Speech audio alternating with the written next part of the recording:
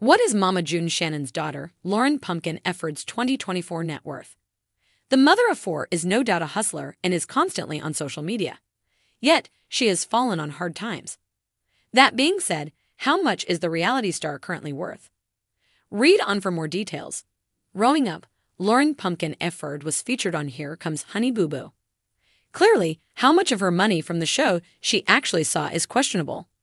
Her late sister, Anna Cardwell, sued their mother, Mama June, for income she and her daughter never received. She also sued the network but eventually realized she would spend more than it was worth.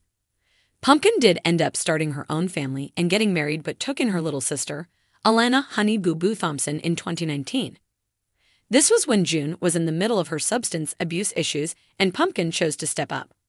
Pumpkin and her husband, Josh Efird, went on to have three more children as Ella was already a little tot when Alana joined the household.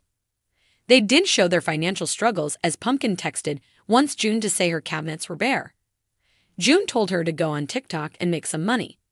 She also had gone on social media to say they were struggling to pay for their car, and Josh flipped out.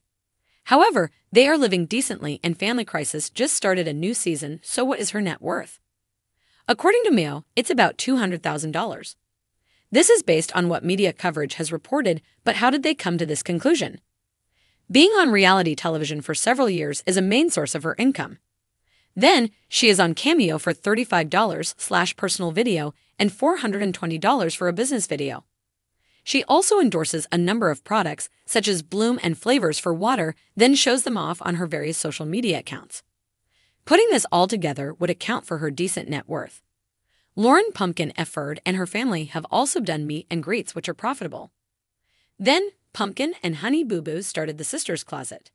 They create their own merchandise, though they also resell other brands' products at a higher price. So, this could be both profitable and cost them all at the same time. As aforementioned, the family hustles and will promote whatever they like or it is sent to them. There are reports Pumpkin may be worth double, but that is just a rumor.